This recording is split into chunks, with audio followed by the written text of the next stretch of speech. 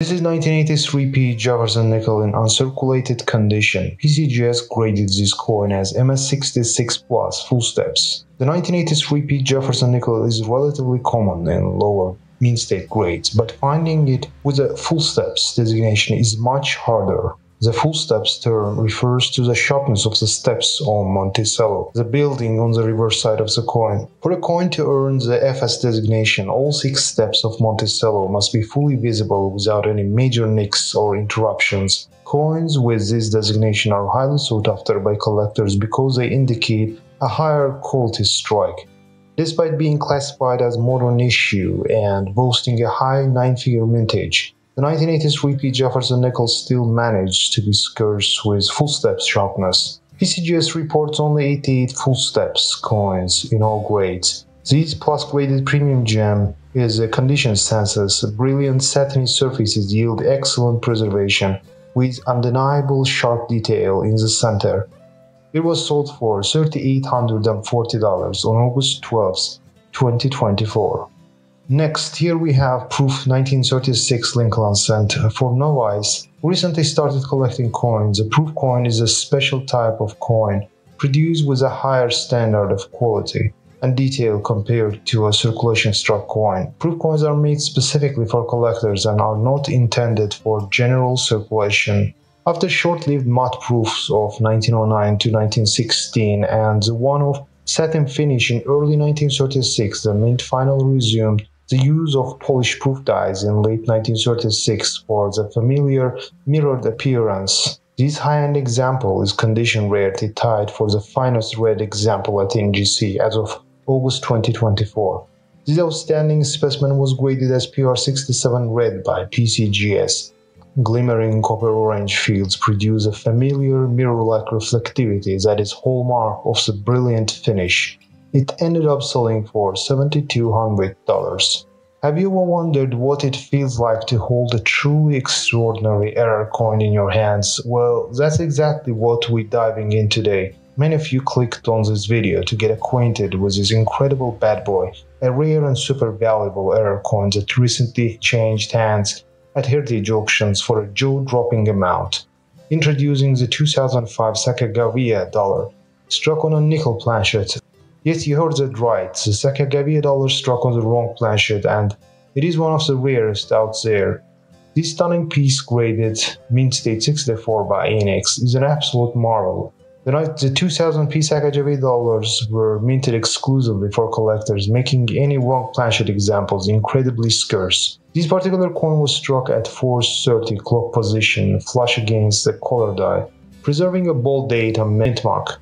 Sacagawea and the baby are fully visible as a majestic eagle save for the tip of its back wing. But what truly sets this coin apart are its well-preserved surfaces beautifully toned in sea green, russet brown and steel gray shades, the, king, the kind of toning that collectors dream about.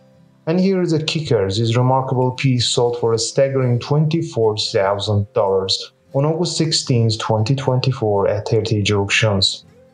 Here is 1934 Washington Quarter representing sought-after variety known as light motto, graded in mint state 67 plus by PCGS. In God We Trust is weakly entered in the die on the light motto variety, appearing somewhat fuzzy on the current coin, which has vibrant frost luster shimmering across each side. Light motto coins are somewhat scarcer than the medium motto pieces, though not as elusive as heavy motto coins, a bold strike and subtle iridescent color complete the eye appeal of this remarkable example, which is tied for finest certified at PCGS. It ended up selling for $3,300 on August 12, 2024.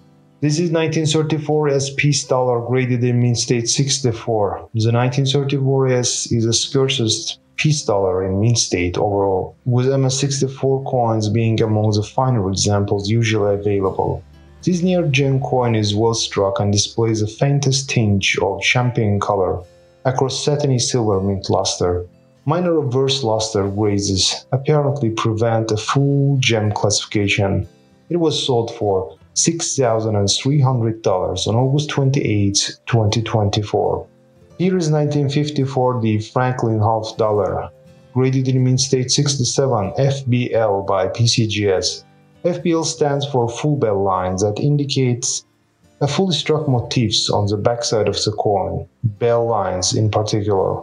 This Denver issue is among the better struck dates in the series from a branch mint and is more often seen with full bell lines than without. Although the majority of set coins grade no finer than MS65. At Super Gem levels, the 1950-40 Franklin half dollar is rare. This piece is tied for the finest certified glistening satiny mint luster passes this coin in luminous champagne gold warps, while pronounced sharpness characterizes the devices. A loupe fails to find a notable abrasions. For the registry collector, this coin is about as good as it gets for the 1954D issue. It ended up selling for $4,920. And this is 1964 Kennedy half dollar, graded in mint state 67 plus by NGC. The 1964 being the only Kennedy half dollar year when the coin was produced in the old 90% silver alloy is in high demand as a type coin. A few hundred coins are certified in MS67, but NGC reports only 26 coins in MS67 Plus with three numerically finer. This piece is sharp, frosty, and brilliant with outstanding preservation. It was sold for $2,040 on August 12, 2024. And there you have it, 8 rare and valuable US coins that sold for big money at heritage auctions, each with unique story and incredible value.